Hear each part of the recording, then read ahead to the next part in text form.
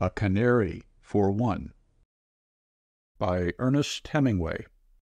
The train passed very quickly a long red stone house. I bought him in Palermo, the American lady said. We only had an hour ashore, and it was Sunday morning. The man wanted to be paid in dollars, and I gave him a dollar and a half. He really sings very beautifully.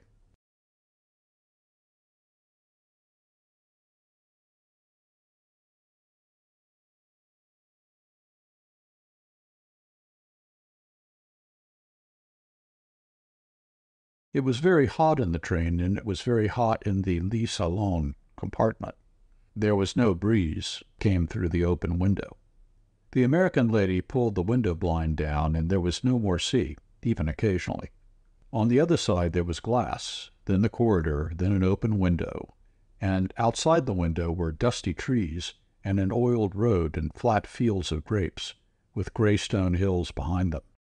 There was smoke from many tall chimneys, coming into Marseilles, and the train slowed down and followed one track through many others into the station. The train stayed twenty five minutes in the station at Marseilles, and the American lady bought a copy of the Daily Mail and a half bottle of Evian water. She walked a little way along the station platform, but she stayed near the steps of the car because at Cannes, where it stopped for twelve minutes, the train had left with no signal of departure and she had only gotten on just in time. The American lady was a little deaf, and she was afraid that perhaps signals of departure were given, and she did not hear them.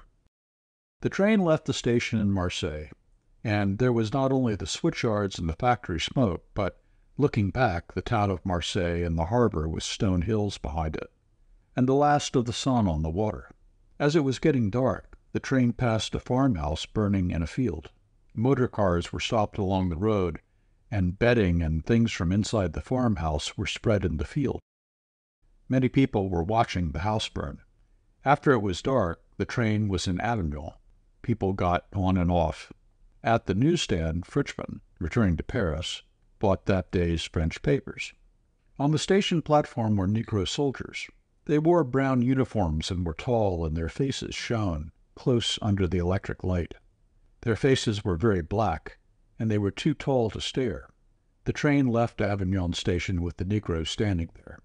A short white sergeant was with them. Inside the lit salon compartment, the porter had pulled down the three beds from inside the wall and prepared them for sleeping. In the night, the American lady lay without sleeping because the train was a rapide and went very fast, and she was afraid of the speed in the night. The American lady's bed was the one next to the window. The canary from Palermo, a cloth spread over his cage, was out of the draft in the corridor that went into the compartment washroom. There was a blue light outside the compartment, and all night the train went very fast, and the American lady lay awake and waited for a wreck. In the morning the train was near Paris, and after the American lady had come out from the washroom, looking very wholesome and middle aged and American, in spite of not having slept, and had taken the cloth off the bird cage and hung the cage in the sun, she went back to the restaurant car for breakfast. When she came back to the lit salon compartment again, the beds had been pushed back into the wall and made into seats. The canary was shaking his feathers in the sunlight that came through the open window, and the train was much nearer Paris. He loves the sun, the American lady said. He'll sing now in a little while. The canary shook his feathers and pecked into them. I've always loved birds, the American lady said. I'm taking him home to my little girl. There, he's singing now. The canary chirped and the feathers on his throat stood out. Then he dropped his bill and pecked into his feathers again. The train crossed a river and passed through a very carefully tended forest. The train passed through many outside of Paris towns. There were tram cars in the towns and big advertisements for the Belle and Dubonnet and Pernod on the walls toward the train. All that the train passed through looked as though it were before breakfast. For several minutes I had not listened to the American lady, who was talking to my wife. Is your husband American too? asked the lady. Yes, said my wife. We're both Americans. I thought you were English. Oh, no.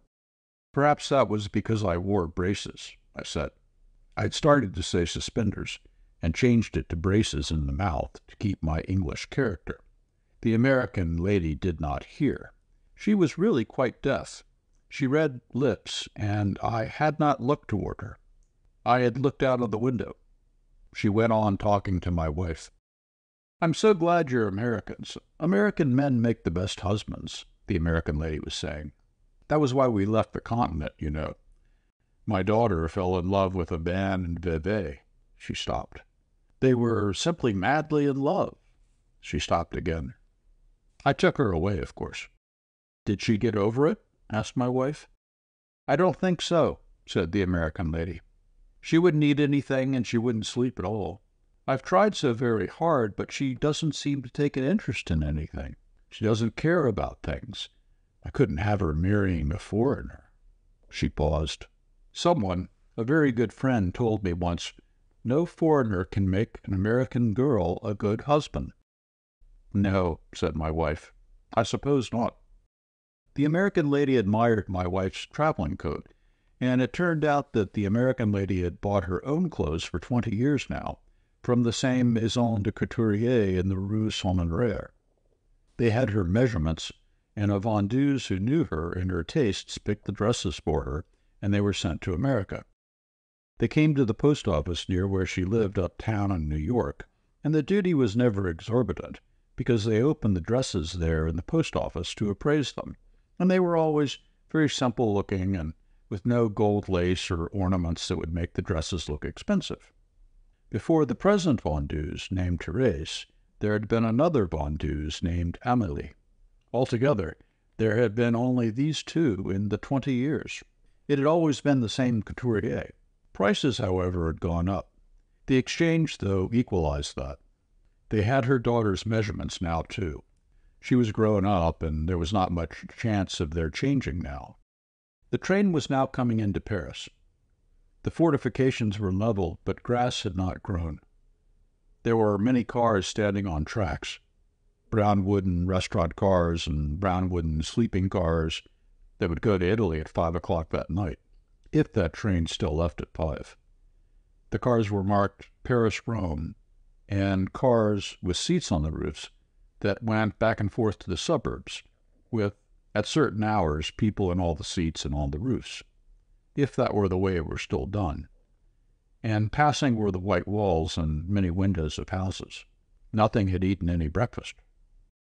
Americans make the best husbands, the American lady said to my wife. I was getting down the bags. American men are the only men in the world to marry. How long ago did you leave Vevey? asked my wife two years ago this fall. It's her, you know, that I'm taking the canary to. Was the man your daughter was in love with a Swiss? Yes, said the American lady. He was from a very good family in Vevey. He was going to be an engineer. They met there in Vevey. They used to go on long walks together.